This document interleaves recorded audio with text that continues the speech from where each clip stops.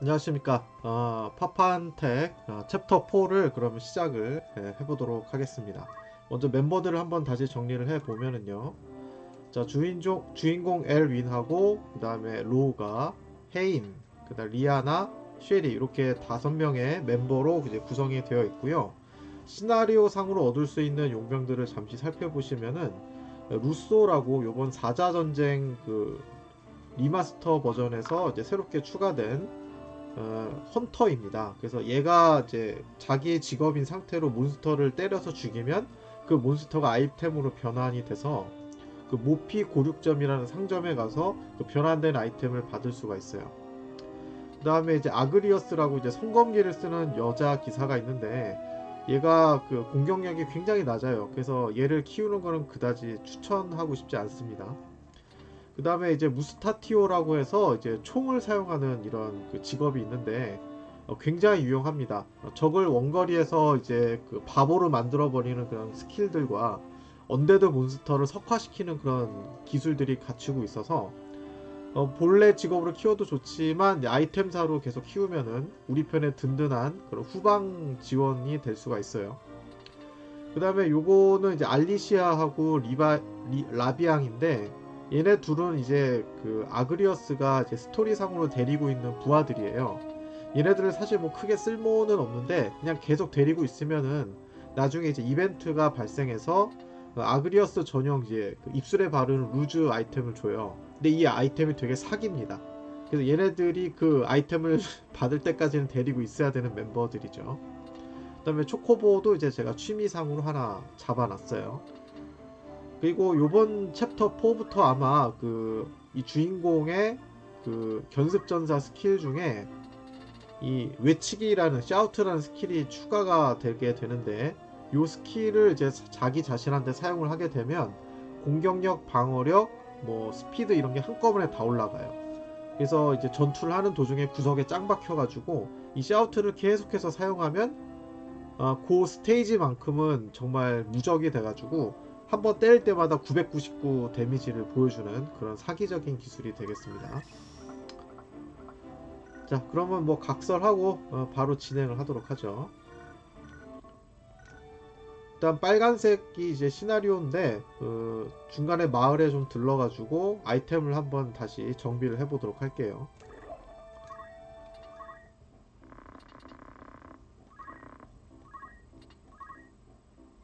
네, 칼하고 방패, 갑옷이 이제 새로운 게 신상이 들어왔죠. Ice Sword하고 이제 뭐 Platinum Shield, 그 다음에 뭐 Carabineer Mail이니까 그냥 구리 갑옷 정도가 되겠죠. 돈은 아주 많아요. 사실 이 게임은 후반으로 갈수록 돈 쓸 일이 별로 없습니다. 어... 뭐 이렇게 싹 바꾸면 되고 이 잠재우기 칼은 굉장히 유용하기 때문에 요거는 요거는 예, 되돌리기로 그냥 안 사는 걸로. 그 다음에 얘도 달라진 게 없네. 어 얘는 왜 신발이 없어? 어? 신발이 전투 중에 부서졌나 보네요. 아 신발이 없다니 이럴 수가. 음... 네, 뭐 창은 안 바뀌네요. 돈. 그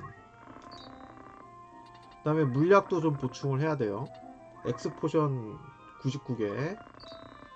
그 다음에 피닉스의 꼬리도 99개. 그다음에 가끔 석화가 걸릴 수가 있기 때문에 금침. 금침도 넉넉하게 한 50개. 어, 그 다음에 요거는 이제 그 해독제인데 이거는 뭐 이 정도면 충분하고요. 자 그러면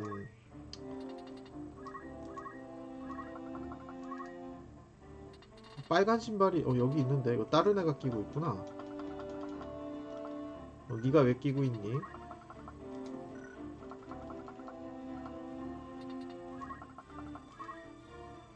예 됐어요. 자 이때부터는 이제 강력한 상태 이상을 걸어오는 몬스터들이 이제 등장을 하기 때문에 이 상태 이상을 막아주는 아이템을 반드시 착용을 해줘야 되겠습니다. 원래 그 파이널 판타지 시리즈 전통으로 그 리본이라는 아이템이 모든 상태 이상을 막아주는 정말 그 최고의 악세사리거든요. 근데 이상하게 요 파이널 판타지 택티스에서는 여성 캐릭터만 장비할 수 있는 아이템이라 그 남자 캐릭터들은 그냥 막 맞고 막 어질어질하고 막 그렇게 돼요. 자 그러면 일단 시나리오를 진행을 하러 가겠습니다.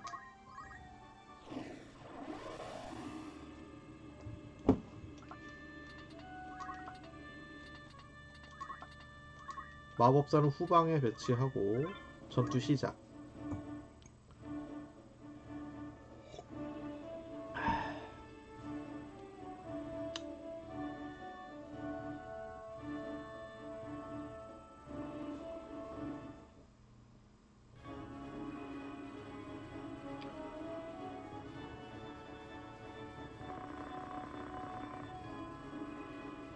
자, 주인공 일행이 이제 도망자 신세기 때문에 항상 저렇게 용병들한테 그 쫓기는 그런 이벤트가 자주 발생을 합니다. 일단 여기 맵에서는 그 적이 용기사가 등장을 해서 용기사가 원거리 공격인데다가 점프 공격을 해가지고 굉장히 조심해야 되는 상황이에요.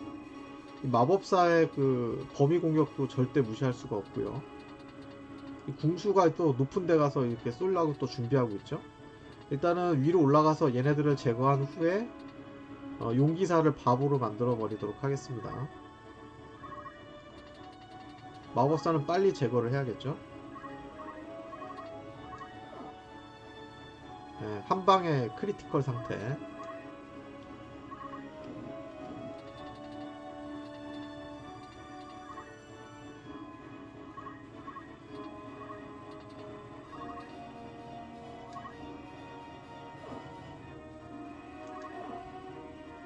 어? 잠이 안 드네.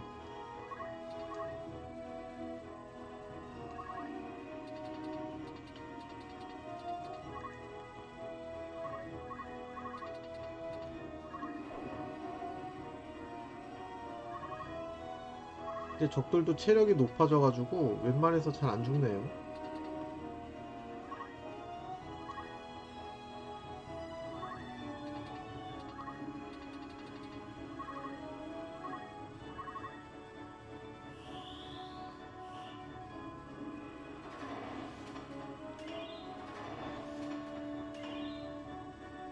어 미스. 아이씨. 100%가 되는 뭔가 없나? 오 새로 산 갑옷이 부서질 뻔했어요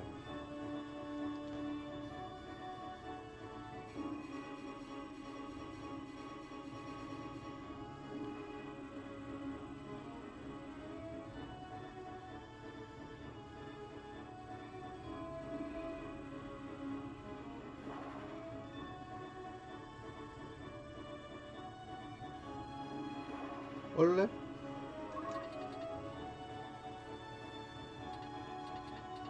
위로 올라가서 마법을 쓰자.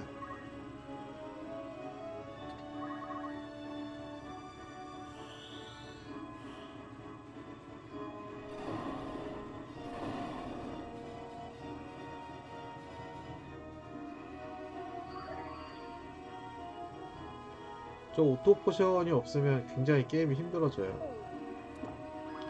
오 마이 갓. 오우, 데미지.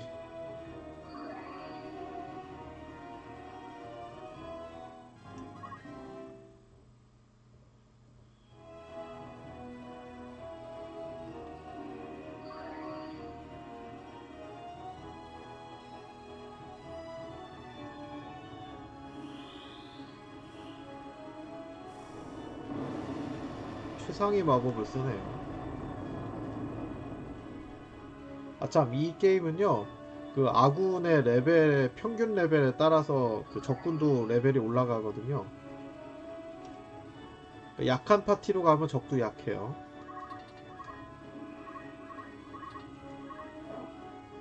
끝.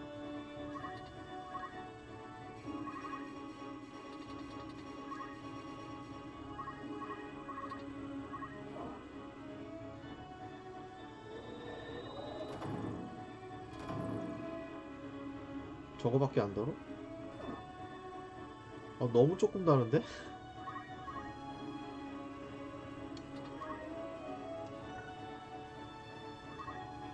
점프나 하자.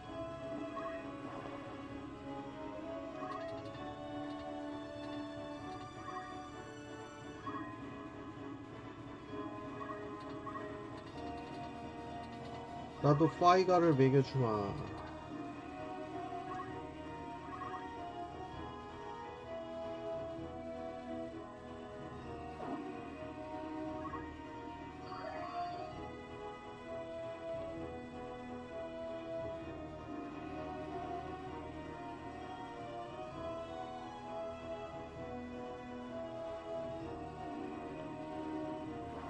와, 저 높이를 점프한다고?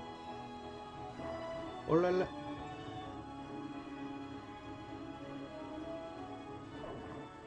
아, 저걸 못 막냐.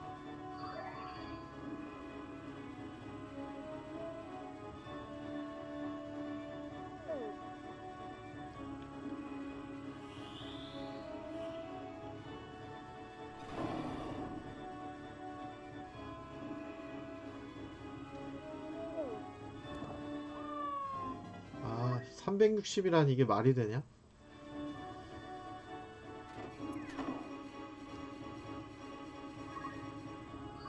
요가는 무적입니다.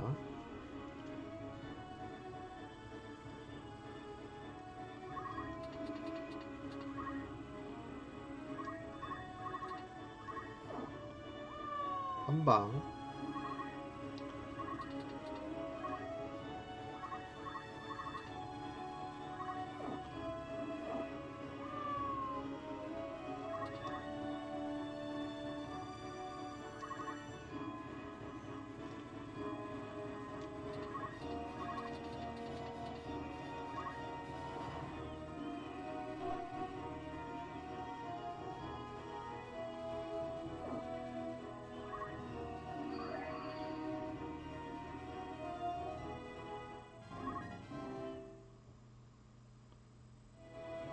피해버리네.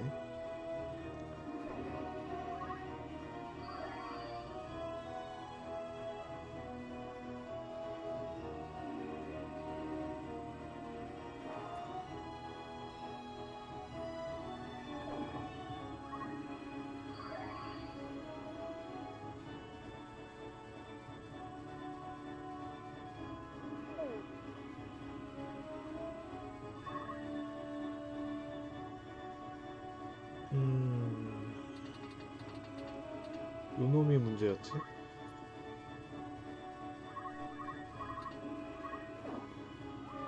오, 208?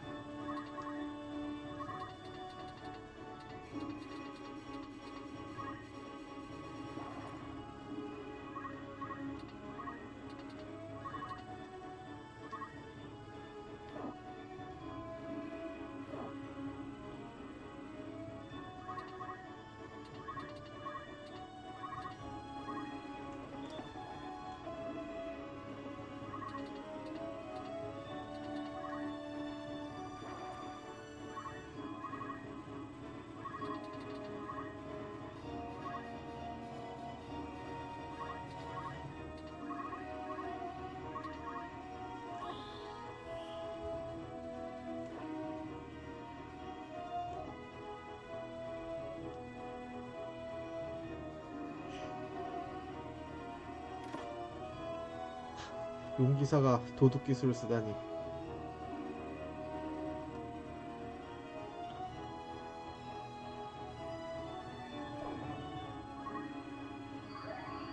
소용없다고.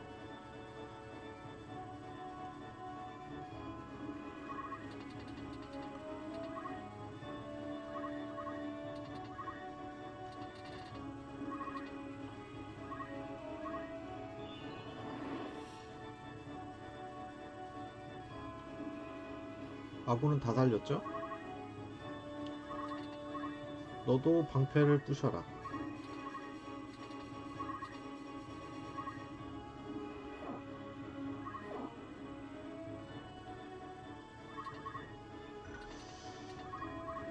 음, 이놈은 공격력이 10이네요. 우리 편은 8. 어, 벌써 공격이 2나 차이가 나죠.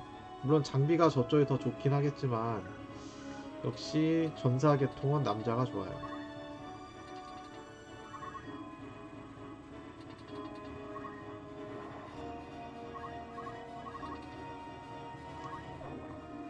네, 방패가 없기 때문에 막을 수가 없죠.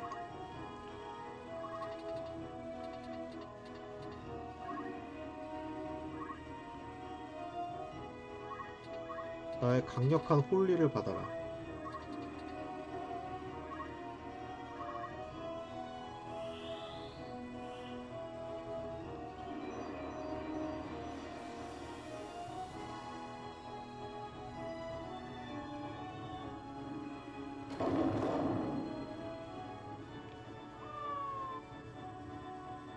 백법을 무시하지 말라고.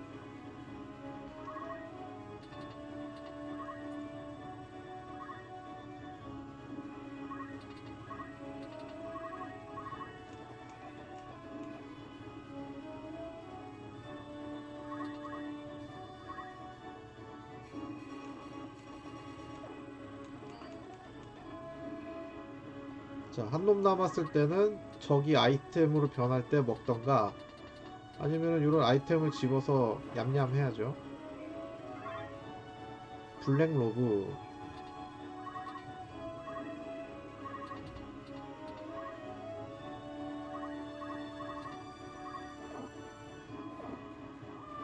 어 죽어버렸잖아.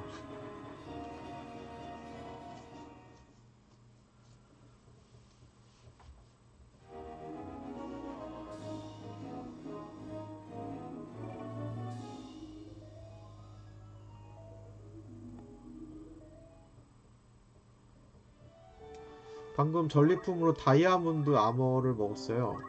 나중에 상점에서 팔긴 하겠지만 지금 아머보다 훨씬 좋은 걸 겁니다. 자, 지금 체력이 397인데 요 다이아몬드 아머를 끼면은 아이고 쩔, 줄어드는구나. 예, 하, 하위 갑옷이었네요. 자, 그러면 지금 주인공의 그 직업이 별로 좋지 않으니까